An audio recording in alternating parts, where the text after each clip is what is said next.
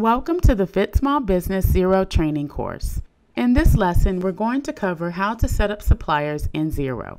To follow along with me, log into your Xero account now or click the link below this video for a free 30-day trial of Xero.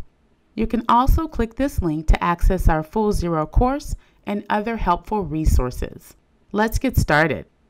If you're converting from another accounting software to Xero, then you know the amount of time that can be saved by having access to your supplier contact details like email, telephone, and address all in one place.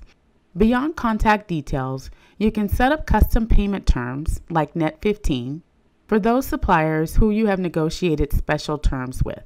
In addition, there is a great feature that would allow you to batch several bills into an electronic file and upload it for payment via online banking or another payment service. This is called the batch payment feature.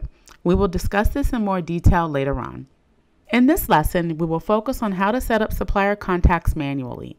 However, if you have an existing list of suppliers that you would like to import into Xero, then head over to our lesson on how to import customers and suppliers into Xero. You can click here to access this lesson. Once you have imported your supplier list, be sure to come back to this lesson to learn how to modify your supplier information. In Xero, anyone you pay money to is considered a supplier contact. Anyone who pays you money is considered a customer contact. When adding a new contact, the steps for adding suppliers and customers are almost identical, although each have different fields you'll need to focus on. If you want to add a supplier, we cover this here. Once you have added a new contact, you will find it listed in the All Contacts group. Based on the type of transaction, for example, invoice, bill, or credit note, Xero will automatically group your contacts as customers, suppliers, or both. For example, if you purchase products or services and sell products and services to the same company, they will be set up as both a supplier and a customer contact in Xero. To add a new supplier contact, we want to navigate to the Contacts menu and select Suppliers. In the upper right hand corner here, go ahead and click on the Add Contact button. This screen is broken up between contact information and financial details.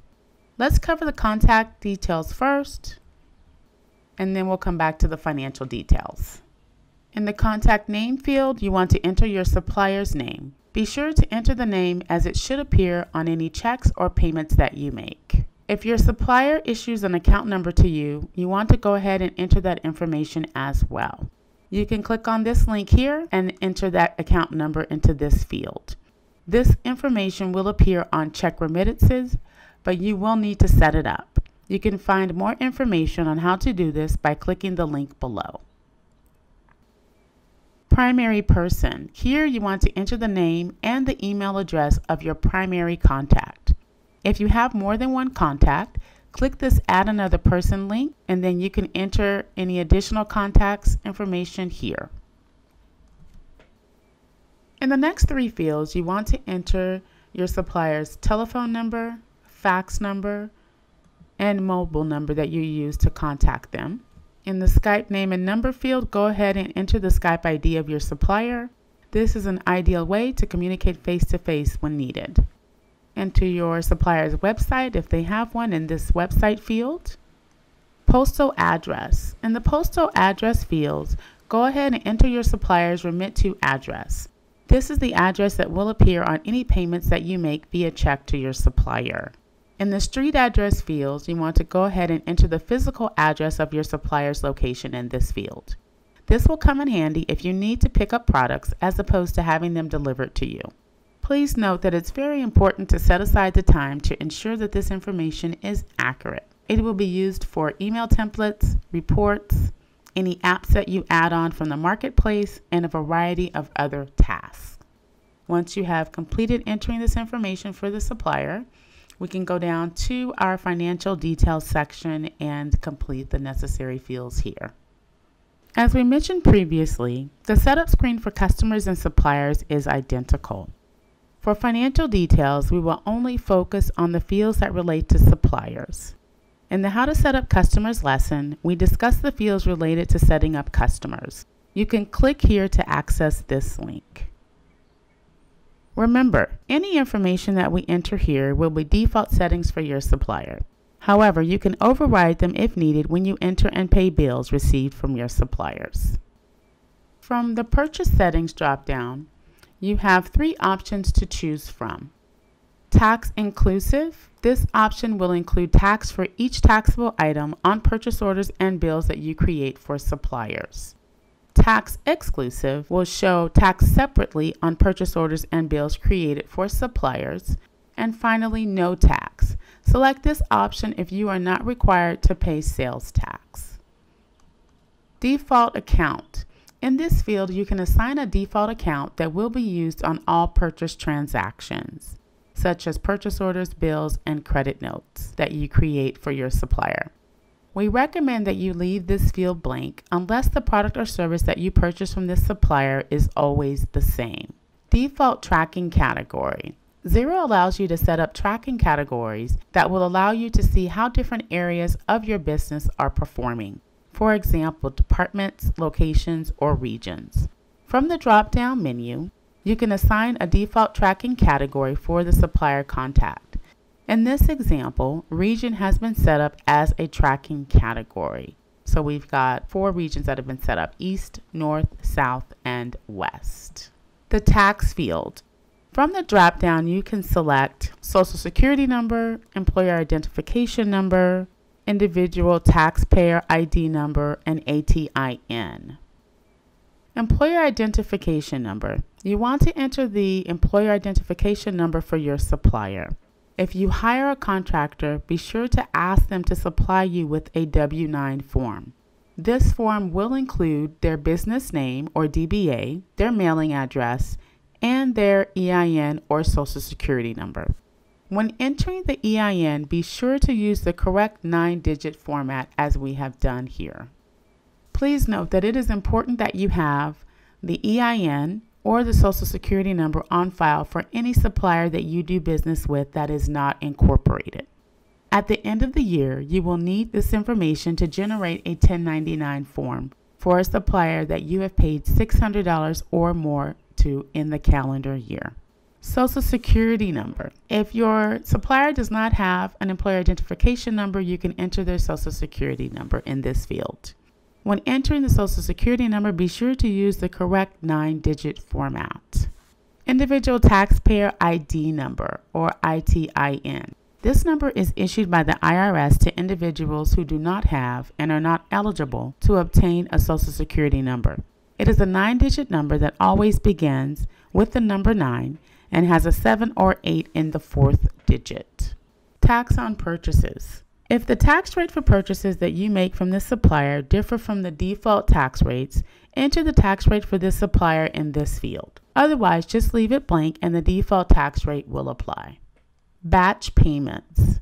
If you pay multiple bills to a supplier, you can enter their banking details in this field. This will allow you to create an electronic payment file that you can send through your online bank or other payment service. You can click the link below to access payment service options.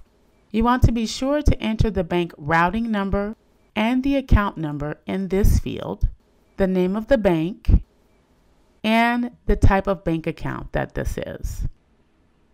Bills due date. If the payment terms for this supplier differ from the default payment terms, you want to enter the agreed upon payment terms for the supplier in this field. This information will be used to alert you when a bill due date is coming up. Options here are you can enter a date for the following month.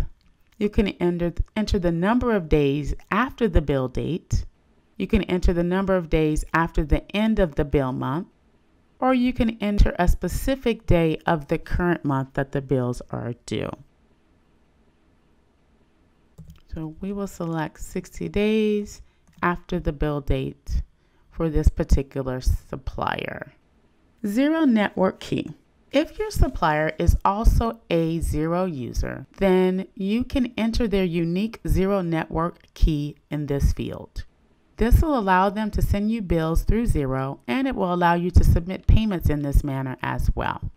You can click the link below for step-by-step instructions on how to send a Xero network invite. Once you've entered all the necessary information for your supplier, go ahead and click the Save button. After you have added a supplier contact, you can make changes to the contact and the financial information at any time.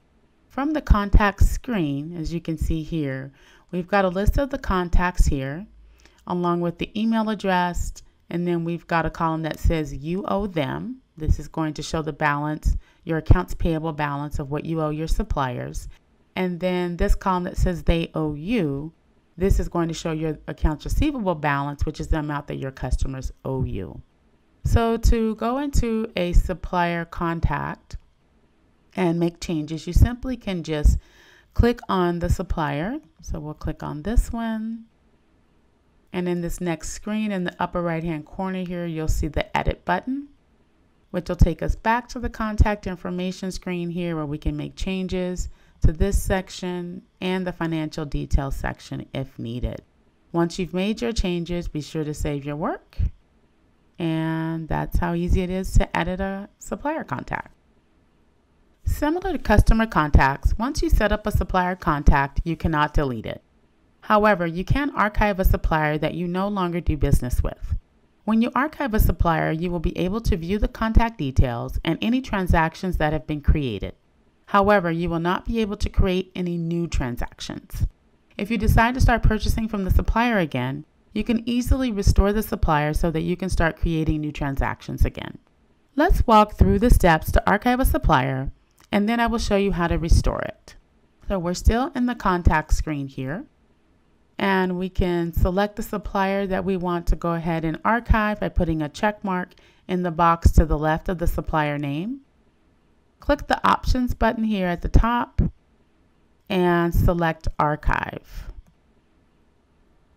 Xero wants to confirm, are we sure we want to archive this company? So we'll go ahead and click the archive button to confirm. Once we've done that and it's confirmed that that supplier has been archived, you'll see over to the left, we have a category that says archived. So if you wanted to start entering new transactions for the supplier, you simply would select the supplier here as we've done. Go ahead and click on that. And then in the upper right hand corner, you'll see a restore button. So go ahead and click on that. And then we want to confirm, yes, we would like to restore this company. That wraps up the lesson on how to set up suppliers in Xero. To access our full Xero course or any of the other lessons in this series, click this link. You can also find a link below this video for a free 30-day trial of Xero.